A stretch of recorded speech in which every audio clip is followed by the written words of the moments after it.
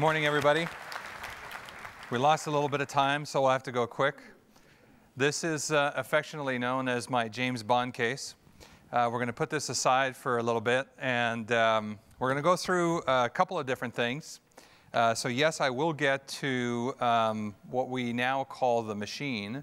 And uh, for those of you who were here last year, um, I gave a presentation that was that probably looked very similar to a lot of what I'm going to talk about a little bit later, and also what I launched at Discover um, as the machine. But when I was here last year, while we gave you all the bits and pieces, we didn't really give you the full story and tell you that we were working on this thing. But before we get there, what I actually want to start with is another part of my job. For those of you who aren't familiar, I actually have a few different jobs at HP. Uh, one is I'm the CTO of the company. Uh, two, as, as, mentioned, I run our advanced research labs, but I'm also responsible for um, our cloud business unit, as well as something we call NFV or network function virtualization. I should say, the, not we don't call it, the industry calls it um, NFV. And so the reason I want to kind of start with cloud is that um, it'll give you a bit of an intro as to what Helion Cloud is about, um, the journey that our customers are on when it comes to getting to the cloud. And then when we talk about the machine and the technologies behind the machine, give you a sense as to where, um, where the cloud is going when we think about this very long term.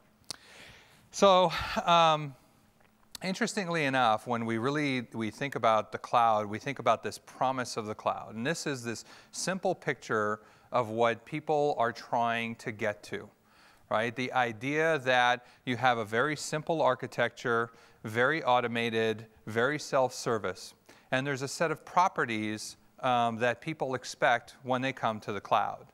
So first thing is they want the cloud to auto-scale, right? The idea that you need to plan for months, uh, weeks and months in order to bring new users online. Or if you launch a particular activity and the inbound, the influx of customers that come to your environment is significantly above what you're expecting, how do you auto scale and how do you deal with that?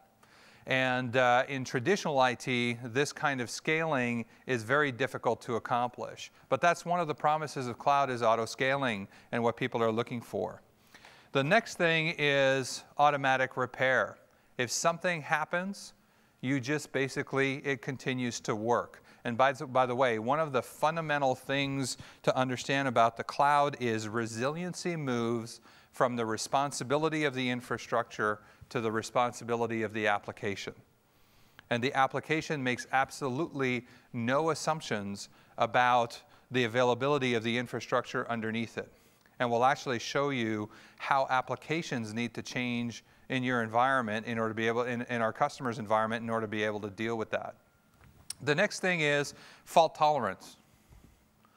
So the idea that um, nothing ever goes away. As I said, the application takes care of making sure your service is always, always, always up. And then we get to some of the other things around the running of the environment to say, I really do need this integrated life cycle.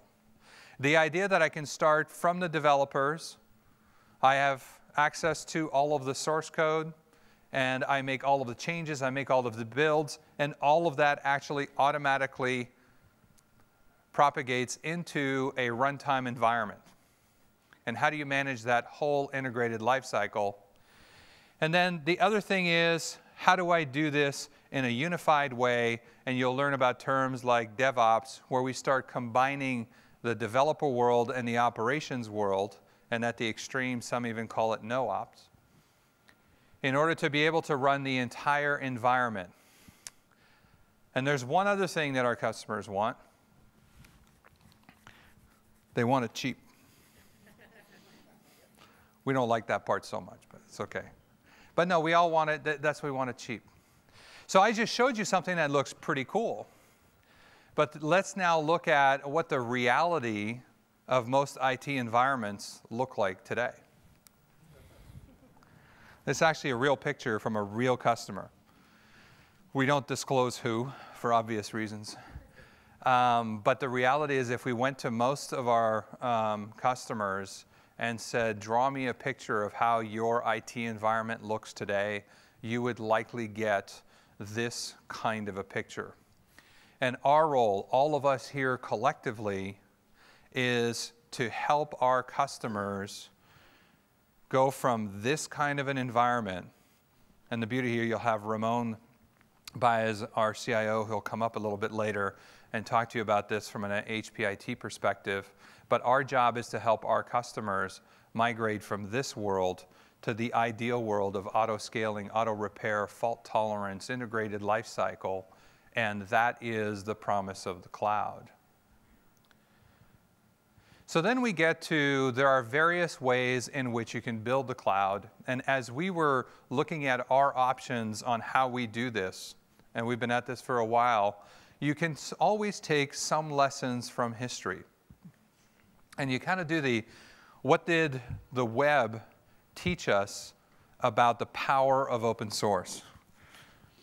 And you can see here from this chart that open source has actually dominated the internet as we got to today.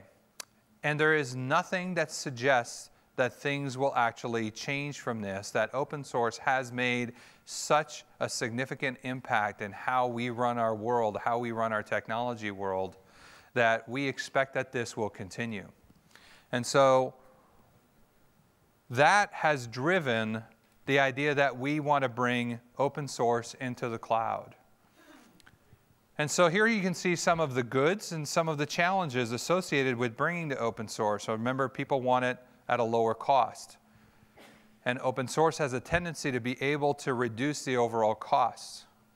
The idea of standards and avoiding lock-in, right? There are too many people who perceive to be held hostage, hostage by um, legacy proprietary, license driven organizations, and they don't want to repeat that, that part of it of their IT infrastructure. And so, how do they avoid um, the vendor lock in through the use of standards? And being able to move applications around much more easily and the flexibility that comes with that. But all of that goodness does come with some challenges, and those challenges are opportunities for all of us and this is how HP looks at this, to be able to bring the best of both worlds together. So, how do we support an open source world and we bring this to the table? In most Linux environments today, when you get support from HP, we handle a huge number of calls associated with that. When there's a security event, for example, there was Heartbleed not too long ago, we had a whole team of people that was ready and there to go deal with that. And building out an ecosystem, and I'll talk about how OpenStack has built an ecosystem, integrating all of this together. Because what you'll see from OpenStack is it is a collection of technologies. But when you want to deploy a cloud, you need to bring all of these technologies together. You need to integrate all of that. And that's another role that we play. And then part of the role that you can play is also then integrate that even further into the customer's environment. And so building your own OpenStack expertise for your customers is actually a really good thing. And we mature the environment with the enterprise capabilities that we have. So have a look at, so let's have a look a little bit, a simple view of OpenStack. There's actually um, over a dozen projects that make up OpenStack, but these are the main ones. So there is a compute project codenamed Nova, and this is the part of OpenStack that allows you to deliver virtual machines very, very quickly and do it dynamically and very flexibly. There is a storage component. There's actually a couple. One's called Swift, one's called Cinder. And in those, you get access to things like object storage or block storage. Again, in a very programmatic, automated way, you get access to those things. And then you have Neutron, which represents the networking stack. So as you're trying to build a virtualized network and you need to be able to control your own VLANs and your own IP addresses, et cetera, Neutron is the piece that allows you to do that. And obviously, you want to put all of these things together. So as you spin up a workload and you want to be able to do it dynamically, being able to programmatically have access to say, hey, I need this many virtual machines connected to this amount of networking or this amount of bandwidth with this kind of SLA, and I need this amount of block storage or object storage available, you want to essentially do that in a click. And that's what bringing all of this environment together. And so these are the open source projects that form the core of OpenStack. As I said, there are more around management, um, security, and other things, but these are the core. And your applications then run on this environment. Now, OpenStack is not new, but it's not been around for that long of a period of time. And when I look at the momentum of this, it's actually pretty astonishing. Um, I was actually involved in the fairly early days of the Linux environment. I actually started uh, working on Linux probably in about 1998. And at that point, Linux was seven years old, and nobody had ever really heard of Linux, right? I mean, I might be exaggerating a bit, but the general IT industry at that point was not very familiar with Linux, and that was seven years. And here we are in, let's call it five years, and we have got a momentum uh, built around OpenStack that is actually mind-boggling. And, um, and so we hopped on this, as you can see here, founding member of uh, the OpenStack Foundation. Um, as, of the, as of today, we are the number one contributors or committers to OpenStack. We're the number one in the review cycles as well. And so we have placed a huge bet on the momentum of OpenStack and open source clouds. So now what's required is to say, I've got this OpenStack environment, I've got the greatness of open source uh, that's available to me to deploy my environment. What are some of the things that enterprise customers are going to need to be able to deploy this in their environment, right? And the idea of saying, hey, Mr. Customer, you can go to openstack.org, you can download a whole bunch of source code, you can, you know, bring all that together. You can spend a few months trying to integrate all those pieces, deploy that into your environment, and hey, you know, that'll be a fun little ride. It's not actually a great appealing conversation.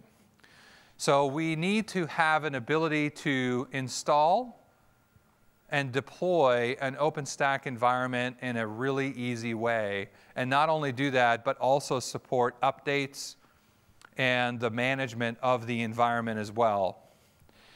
And um, you'll see here hybrid IT. So you might have also heard the term hybrid cloud. And how do you deliver that cloud experience where in some cases the workload is better positioned in a public cloud environment like the HP public cloud? And a lot of customers will want to do dev and test in that way because it's very easy to just use the flexibility of an open public cloud. But then when I want to deploy my actual application, I want to click and deploy that in my private world, in my private cloud. And then you might get to a point where a portion of your environment you want HP to manage for you. And so you uh, ask HP to do that. And then you might want to mix and match. So in other words, have things that live in a managed environment, in a private environment, a public environment, but you want to look, you want to make that look like it's one cloud what we call a virtual private cloud. And the point here is to support all of those environments. And that's what Helion OpenStack is all about. And we provide two editions of Helion OpenStack. One edition, which we call the Community Edition, is for those who want to have a pure open source environment. I want to basically have exactly what is at openstack.org or very close to it. We call it tied to trunk. And I want to be able to leverage that world, bring that down, and that's all I want to use. I don't want to have any extensions, any add-ons, any management capabilities, any of those things. I don't want any of that. I just want to have this pure open source world. Developers might want to do that. ISVs might want to do that. Um, and people who want to stay tied to that trunk might want to do that. But usually we see that for proof of concepts. And that edition of Helion OpenStack is available to anyone for immediate download, and it's available for um, free, and it's all tied to pure open source trunk. And then the next edition, which is our commercial edition, All of the other things you saw in the previous slide about ease of update, management, um, upgrades, um, security notifications, all of those capabilities, um, high availability, the fault tolerance, et cetera, all of those things and bigger scale are part of our commercial edition. And that is also available, and uh, we encourage you to start um, deploying and doing proof of concepts and getting your teams really smart about Helion OpenStack Community, Helion OpenStack Commercial Edition, um, and leverage all of that. So this is what happens when you put kind of all of the pieces together. You have HP infrastructure. Um, obviously, the best infrastructure, whether it's you know from ProLiant to our Blades environments, and then build up the OpenStack cloud environment, and then be, have a set of services that are available and deploy that in a private, public, or hosted environment. And so here are some examples, right? You might say, hey, I want everything behind my firewall. The public cloud is really interesting, but I want my data, my control, my firewall. And in fact, a significant number of customers will actually prefer this type of cloud deployment. For larger IT organizations, a lot of what we're seeing is they want to essentially be a service provider inside of their IT organization.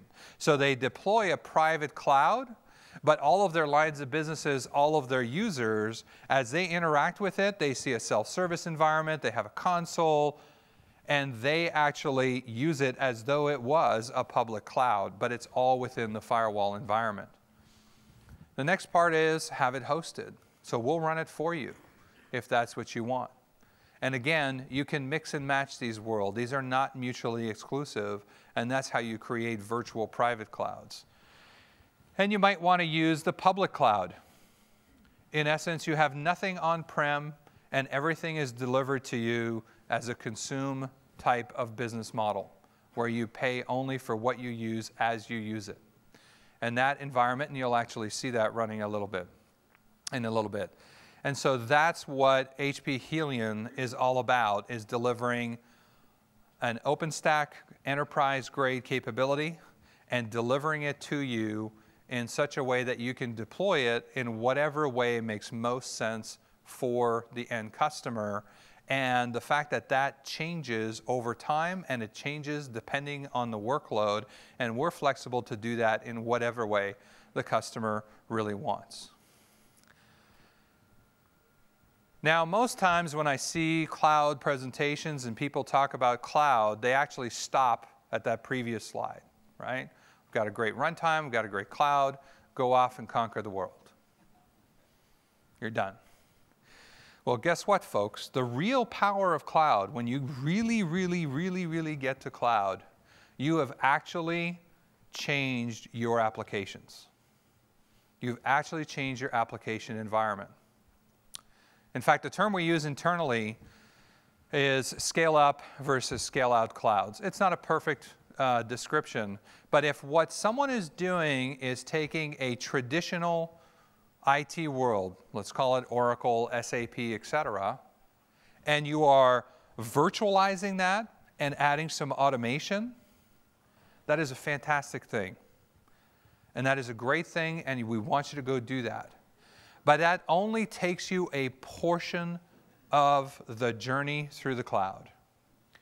When you want to get all of the properties of cloud that I started with, where it's auto scaling and resilient and fault tolerant and auto repair, and where the application runs no matter what happens, you actually have to take it to the next level and rethink your applications. And so now you have to think about the developer who wants to create a new class of applications, obviously mobility comes to mind. They don't want to have to care about, geez, do I need to handle a thousand users, a million users, 5,000? Like, what do I need to do? You don't want to worry about any of those things. How big's my database? Do I have it? Do I have enough data? Do I have enough storage? Do I have enough space? You don't want the developer to have to think about any of those things. And as there are changes that are made and, and new features are added to the environment, you want those to just roll into the environment and not have to go through a multi month cycle. And then we're going to freeze the entire environment for the weekend. We're going to take everything down. Then we're going to upgrade from 6.2 to 6.21. And then we're going to basically bring all of the environment back up. That is not cloud. Okay? The cloud world is a new feature just showed up on your app and nothing else was visible. Okay? And so you want all of those properties, and, but you don't want the developer to have to program and concern themselves with every aspect of that. And so that's why we created the Helion development platform. And so this is where now you get advantage of the true cloud. And, and I, this is the part now, if I go to all the customers and they say, I really, really want to go to the cloud, we have a tendency to talk about the, what the IaaS layer, the infrastructure as a service layer. And that's what I, the, the whole Helion OpenStack world is all about, is delivering infrastructure as a service.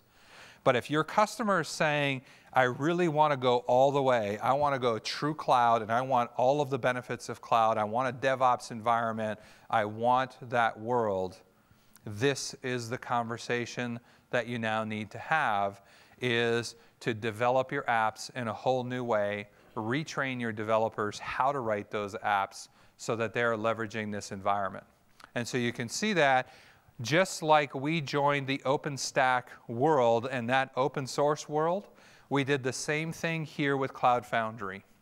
And Cloud Foundry is an open source environment known as a PaaS layer, a platform as a service. And we're adding all of the capabilities around that to also integrate it to our infrastructure as a service layer, which is our Helion OpenStack platform. And you'll see from here that the, the developer has a choice of languages, right? So they can still develop in Java. They can still develop in Python or Ruby or whatever their language of choice is. But they have access to all of these services that magically are just available. And they know that their app will automatically scale, that they'll be able to deploy um, in a matter of minutes and take advantage of all of the features of the infrastructure and not have to concern themselves with the specific of the, infra uh, of the infrastructure underneath. So I'm going to ask um, Josh in a minute here to come out and uh, tell you a little story about this uh, to do an actual demo of the Helion development platform in action. So Josh, why don't you come out here? There he is. Welcome, Josh. Um, Just so you guys get a little bit of how you operate at cloud speeds, we made a change, a little bit of a change in plan, and on Friday, last week, Friday, we decided to get Josh to come here and do uh, this demo, and he's here doing the demo, right? So that, what normally you would have thought of weeks and months of planning, et cetera, this went from poor Josh Friday, guess what you're doing on Tuesday? Uh, fortunately, he has some family in town, so it's good. So I'm going to leave you with Josh for yep. about five or 10 minutes yep. to go do a demo. Enjoy the ride. I'll be right back. So All hi, right, everyone. Josh. Thanks, Martin. Uh, good morning. Happy to be here. I'm going to spend a few minutes talking about uh, what we're doing at HP. I work up in the Seattle office uh, on the Helion development platform that Martin was mentioning. Uh, and what we're focusing on is really the ability for application developers and IT operations teams to work together uh, to build, deploy, and manage their applications more quickly on top of that OpenStack layer that, that Martin mentioned. So we're going to go through a few scenarios. This is a live environment, so uh, you know anything can happen. I, I hope the network connectivity is looking all right. We're going to pivot to this is the dashboard that a developer sees when they log into the development platform for the first time. Uh, so one of the interesting things of the platform is the concept of a, a reference app store. And as a developer, I'm going to put on my developer hat here. My IT operations team has stood up this environment. Uh, they've given me credentials. Uh, so I'm going to go in and, and do uh, a simple application deployment. So we have this concept of a reference application store. And so this is running on top of OpenStack. This is the development platform. And as an enterprise, you can add your own applications here. Uh, the platform comes uh, pre-shipped with a bunch of open source applications. So we'll go ahead and deploy an application just as an example here. Let's find WordPress at the very bottom. So you can see I've got a few basic options. Uh, I didn't have to SSH in the server, pull down a bunch of packages. Uh, we're going to accept the defaults here and say start application and deploy. And immediately we should see that the platform is sensing, it's, it's looking at the source code uh, of the application I just deployed, uh, picking up all the dependencies. Uh, I've worked in enterprise IT before. Uh, I've been a developer working with uh, IT operations teams before, and this traditionally may result in me having to create a bunch of tickets, coming up with uh, you know, a design proposal, and if it was a big application, wait for some hardware. so this application will be deployed for me in less than a minute. And this is the live log stream of the actual build process happening for all the dependencies as part of that application. While it's deploying, we'll pivot over to maybe, as a developer, one of the more interesting parts of the platform. Uh, this is where you can scale your application. So there are two types of scaling. Uh, I can set these uh, characteristics for my application in my actual source code if I'm deploying a custom app, or I can just do it from the console here. So for demos, the console is really nice. For developers, they're probably going to use you know, a config file or the command line. Uh, so there are two types of scaling. One is just pivoting this switch to on. And if we pivot it to on, it'll just mean it scales by CPU. So if uh, there's a bunch of uh, traffic to my application, it'll automatically scale out. And then if the uh, traffic dies, it'll scale back in. The other way of scaling is manually. So we can move the slider to the right, and if we move it to the right, uh, the instances for the application will increase up to the level that I specify. So you can see the application just went live, it's running, uh, it's in a running state. We'll say, just for an example, that we're doing a product launch. And our product launch, we know is going to have traffic right at the gate. Uh, so our product blog is going to need to scale up uh, to handle all that traffic. So we just moved the slider to 10 instances. We should see, if we scroll down here, that nine new instances of our application were added to the environment. And they started as starting state, and then they flipped to a running state. So in just about 10 seconds, we scaled our application, which we'll, we'll visit in a second to make sure it's working, uh, into a, a, production pool uh, with traffic being routed to each of these containers uh, in parallel. So let's make sure the application is running, and then we'll, we'll dive a little bit deeper. So this is the, uh, the default WordPress blog. Those 10 application instances that we saw flip to a running state, uh, those are all being routed through this DNS address. So another example of, you know, in the traditional world, as a developer, if I wanted to deploy this to production, I probably would have to create a DNS ticket if there's not an API for my internal uh, DNS service. Uh, the development platform is taking care of all this routing and load balancing for you automatically. So when you're done with uh, an application or you want to free up a resource, uh, it's very easy to deprovision something from the platform. So we'll go ahead and say stop application. And then we'll say delete the dependent services. So these are databases that were provisioned uh, for me automatically. And then that's as simple as it is. So we just freed up that, that application that we just deployed, scaled out to 10 instances, uh, mapped into a load balancer DNS uh, configuration, and then unmapped it. So that's interesting. Uh, but most of the time, you're not deploying a pre-canned application. Usually, it's an you know, internal app that's maybe integrating with a legacy system, or it may just be a cloud-native app, uh, something brand new that a developer is prototyping. So let's take a look at how that scenario might work. I've got a, local environment set up here, so I've got a Python application. Uh, this is actually just a healthcare application that we wrote quickly. It's uh, formatted to work well on a mobile device, and it does patient scheduling against a, a, a legacy backend system. Uh, so take, take note of the version here. It's version 1.5. We're going to deploy a new version of our application. Our development teams made some optimizations to our code. Uh, all that code's running in this local environment, and we want to push it out to a, a sandbox or a test environment for our QA team to take a look. So from my editor, we can say git commit directory. And this, all this is doing is pushing uh, my local code to my source code management system. And we should see in just a second that the push was successful. So that means my source code management system just got updated uh, we can actually look at what's happening behind the scenes. So I have a tool here called Jenkins. Jenkins is an open source project. Uh, and Jenkins manages all the builds for my application. So the nice thing is the development platform integrates with these uh, open source build management systems. They can integrate with proprietary build management systems. Uh, it's all scripted via command line, so it's very extensible. So we can see that commit that I just made with my new version of my app was pushed. It's going through a build process. We can actually see that build process happening in real time right now. And at the very end of the build script, it gives you the URL of where your application was just deployed. Uh, so you might imagine there's a sandbox for developers. They can freely deploy and test applications. And then there may be a separate environment where the operations team is handling deployments, and they're the ones with access to the, the build files and the actual production URLs. So let's take a look at this application that we just deployed. We can see the version is, is 1.6 now. It's the new version of our application.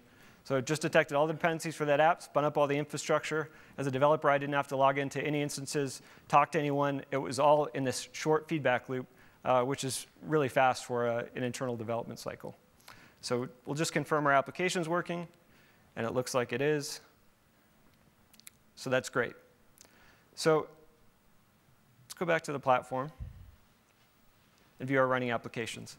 So what happens now? We've got an old version of the application and a new version. Martin talked about uh, the ability to do seamless updates uh, for a cloud application. Uh, this is a, where the, the platform comes in handy. So we've got this scenario where we've got two versions of an application. We're going to get pretty geeky here because developers love command lines, and uh, a lot of the good functionality in the platform is uh, through the command line client. So just like we did in the console, we're going to list the applications that we have. And we should see the two apps. So we've got the old version of the app and the new version. If you look closely here, the old version is the one that's getting production traffic, the scheduler.acmehealthco. Uh, the other URLs with the build numbers here, those are just appended so we can keep track of uh, the different applications as they're getting redeployed and redeployed in the environment. So as an ops guy, what I'd probably want to do here is, assuming QA has checked out this application and we're ready to release it, we can map this new version of the application into the pool and it can start receiving traffic. We can do this all via a simple command line call, and it takes about a second. So let's go ahead and add it to the production URL. Let's make sure it's the right application. App scheduler.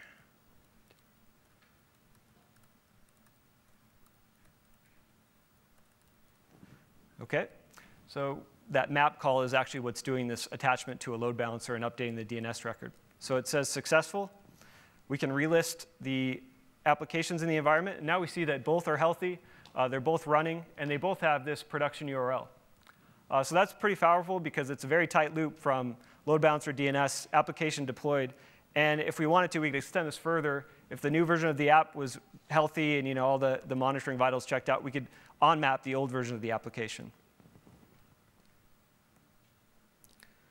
So we'll, we'll, go ahead and go back to the console here.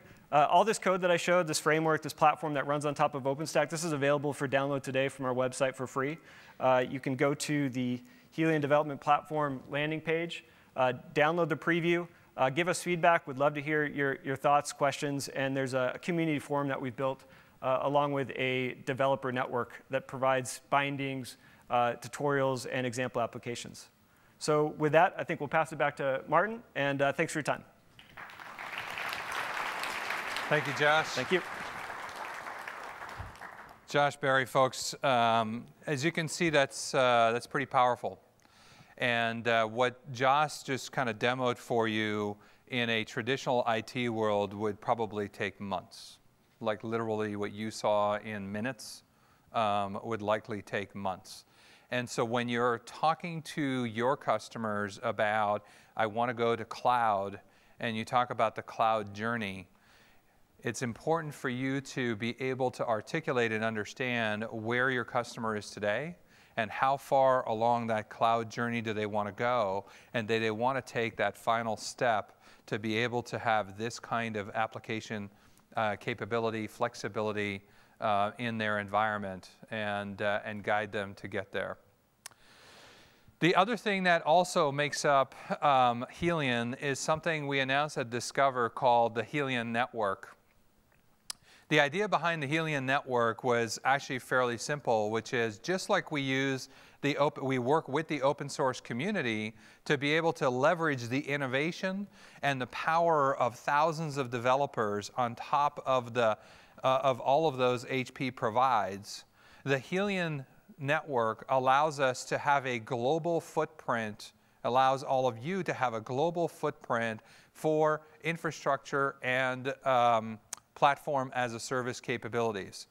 And so we're, we st we're still in the process of establishing the network. We've got a, a few charter members already on board.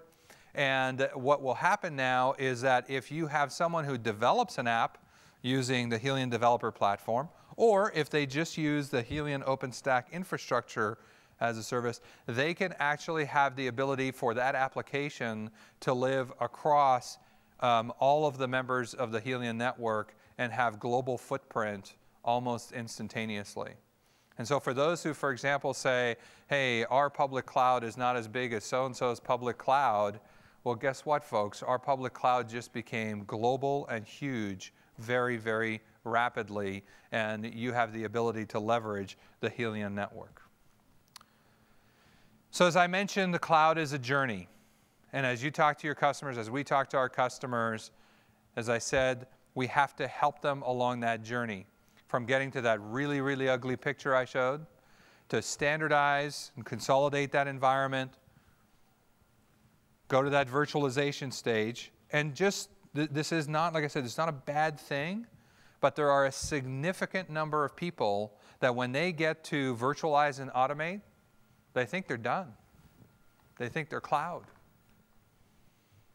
And if that's where they want to go and that's a good definition, then just that's okay.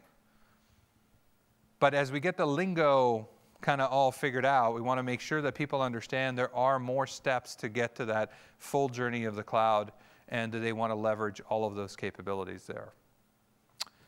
So now let's transition to um, the machine. And even with all of this wonderful cloud stuff, the thing is, we as an industry are still dealing with a massive, massive onslaught of data that will continue, and we see no abatement. And this magnitude of data is essentially reaching a point where we do not have the infrastructure that can actually scale. And we can continue to try and build very large data centers with very large clouds, but the reality is that we are going to reach a scale wall as an industry. And we do the math, and every time we do the math, we see we hit a scale wall. And so it's, we were thinking through what do we need to go do next? The primary components in our systems that will actually cause that scale wall to occur are DRAM and flash. DRAM comes first, flash is next. So notice I'm very careful here because I want to be very clear about this. I do not ever suggest that we're going to wake up one day and DRAM and flash are going to stop working. Okay? It's just not going to happen, right? What will happen though is our expectation that every year or every 18 months the servers we buy have double the amount of RAM for the same price or cheaper, that is going to stop we will be unable to scale DRAM and flash the way we need to to continue. So the other part that we looked at that was sort of interesting, it was sort of an interesting aha moment, is we think of the IT industry as being innovative and always changing. And it's really interesting if you just kind of think about this and just take a step back. All computers today, whether they are a phone, a tablet, a, main, a mainframe, a server, doesn't matter. They kind of haven't changed in 50 years. CPU, memory, I.O., or storage. And we, as an industry, as virtualization came online, we decided to create a software version of this. So again, we created the same thing. And the core of the machine is about fundamentally changing that concept using a new set of technologies. So one part that will continue to exist is the actual central processing unit, right? The actual brains of the computer. And we will continue to use electrons to process that. However, we think that communications, even inside the server, the phone, the tablet, the computer, will over time evolve to become a photonics link, or actually communicating between components using light instead of electrons. And for storage, we believe that ions are going to take the role of being able to store information and doing at extreme scale and very high performance. Okay, so we think about the scale, and so the reason why we wanted to show you this was because most of the time when I talk about the machine, and most people, and for example in your jobs, we think about the machine, we think about it more in the context of a server, and then we think about the rack, and then we think about the data center, right? And so the machine is typically thought of as the very large. But I want to make the point, here I get to the James Bond case, that um, the machine can also be just this. So when you think of a phone, think of the machine. Think of something that has processing, but now 100 terabytes of storage in your pocket operating at very low power. And what could you do with that? So I just want to make the point that the reason it's called the machine is because we didn't want to call it a server or a tablet or a phone or a PC or any of those things. We essentially just wanted to call it something generic. And actually, truth be told, I did that in a meeting room and I said, we'll just call it that until somebody comes up with a better name, and well, here we are. So um, that's what happens when you don't have a marketing department, right? Um, and so that's, you know, I just want you to make sure you, when you think about the machine, we think about it in different steps. I also want to basically also connect this to today, right? When we work with our product teams in the organization, this is not a I sit in one, you know, building one place and I think about, let me tell you what's going to happen in 10, 15, 20 years. And then a bunch of the product business units go, hey, we're just going to do some products and we don't actually talk. That's actually not what happens, right? Um, we actually do sit in the same room a lot of times and we think about this in both contexts. And the job that we try to do, and it's a very, very difficult balance. This is a very non, this is a non-trivial thing to do, is how do we build products today with technology that's available today? How do we innovate using today's world while at the same time laying track for the technologies that we hope will come available in the future? And Moonshot is a good example of that, where we started to lay track with low power, using SOCs um, and building a different class of machine. For those of you who haven't seen, Moonshot is a chassis that is uh, able to hold uh, 45 cartridges. Here is a Moonshot cartridge with four processors. Right, so if you think of your typical big rack server, and you look at a four socket server, you'll actually have something that's, you know, I think it's uh, four to six U high, um, fairly deep, etc. And here in one cartridge, we have four CPUs, we have DRAM on the other side, and then you have 45 of these in one Moonshot chassis. Um, so we lay track for um, getting ready for something like the machine. So I talked about photonics, and so photonics is very interesting to us for a couple of reasons. One is part of the reason why our current data centers will have a challenge is energy consumption. So we have this massive onslaught of data coming in. And then not only do we need to process all of that data, the energy required to do that is reaching unbelievable proportions. And so a big part of why we're doing what we're doing, and I'll talk in a minute about um, the storage and memory hierarchy, is around photonics, is we need to have a technology that allows us to transmit data at extreme speeds, but do it at extreme low power in essence, use almost no energy. And what most people don't realize is, you know, most of you in your offices or elsewhere, you might have like an RJ45 cable that goes in the back of your laptop. You click it in and you're kind of good to go, right? Well, when you want to basically now have data center scale and you want to start processing petabytes of data, the cables that you need start getting a little bit out of hand. So as a demonstration, I have a collection. This is just a bundle of RJ45 cables. And this bundle here, like this, would probably handle about 300 terabit, terabytes of, excuse me, 300 gigabits of information um, piping through here. And it would use an incredible amount of energy to push all of those electrons through all of these wires. So the reason we like photonics is rather than have 300 gigabits, How would you like to have six terabits on a piece of fiber? Okay. That's why we like this. And we can do this using almost no energy. And so that's why we're putting so much energy around photonics. There will be an evolution here. The first version of the machine will likely um, still have an electron, electronic based system. Then we'll get to um, a first generation of photonics called VCSELs, and then eventually get to a next generation of photonics called silicon photonics. And, um, but we're very excited about the opportunity to really change the architecture of how we build systems to do that. So here now is probably the most critical part of the machine.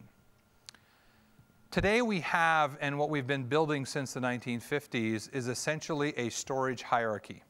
We go from SRAM and on-chip, on-CPU caches, all the way through to um, caches and storage in the actual rotating media or flash. And that hierarchy can be anywhere from 9 to 11 levels deep. And we call this actually the volatility chain, and the amount of billions or the, the amount of code that has been written over decades to manage the volatility chain is extreme. So what the machine really is about at its core is collapsing the storage memory hierarchy so that storage and memory converge into a single entity we call universal memory. So it's kind of interesting when we launched the machine at Discover, most of the feedback from customers, from the press, from analysts was all just unbelievably positive. And, uh, that, you know, we were pretty excited about that. Now, as expected, you know, it's the job of our competitors to sort of poke holes at us. And um, Dell didn't miss the opportunity. The great innovator. Um,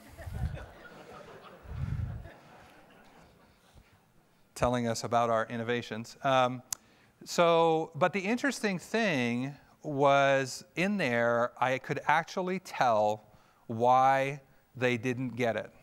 Because here's where they went. They said, because we talked about Memristor, which is the technology we want to use for universal memory, and their comment was, HP's wrong, phase change memory will come first. And that was my clue. They don't understand what we're doing.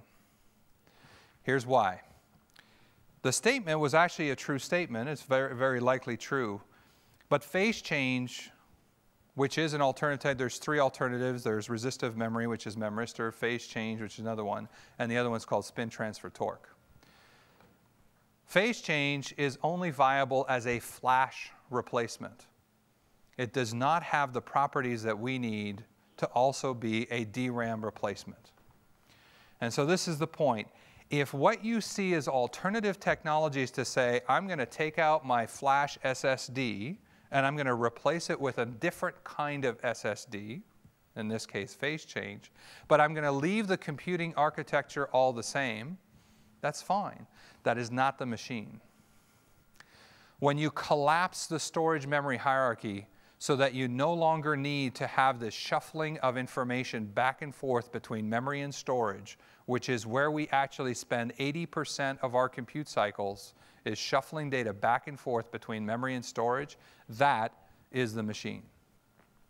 And so that was the clue and but it was also helpful because it also helped me understand that we need to continue to drive that point home.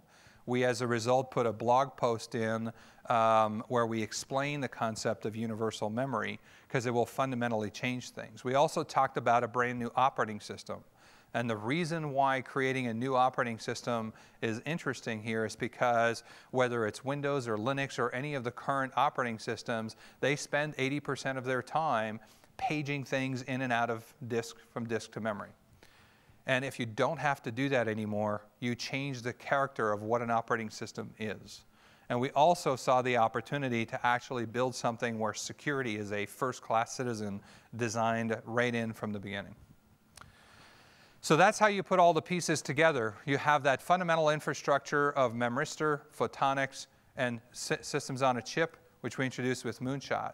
With memristor, which I, for those some people like to see this, this is a uh, memristor wafer.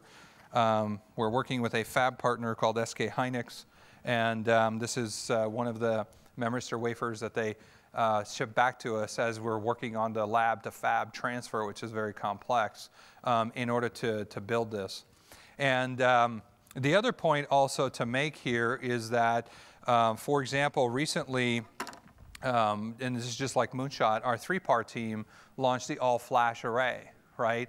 All the dots connect, right? Because we know where this world is going, all of the work that our 3PAR team is doing around the flash array, how do you manage data, how do you manage that world, all of the data hierarchy, data aging, uh, deduplication, all of those things are all critical to even a machine with 160 petabytes of main memory, or 160 petabytes of universal memory, to be more precise you need to have all of that. And so we connect the dots. So working with your customers on 3PAR is also very important.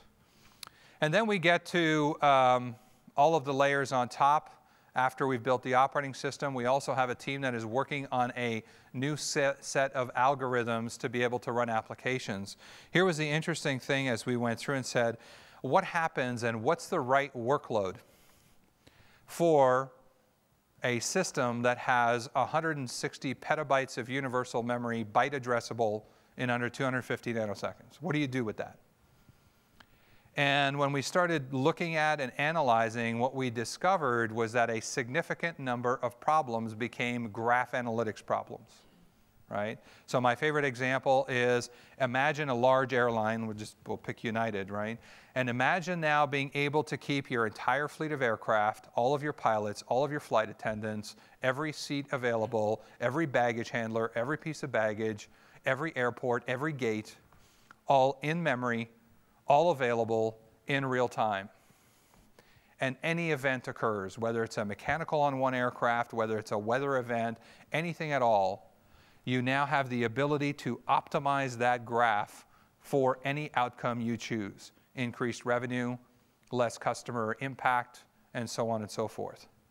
So it's an example of unsolved problems today for which having these very large in memory systems allow you to solve. And we've noticed that the vast majority of our, uh, of our workloads essentially turn into, even though they are not today, basically large graph analytics problems. So spend some time tonight on Google researching graph analytics, and it's fun reading, trust me.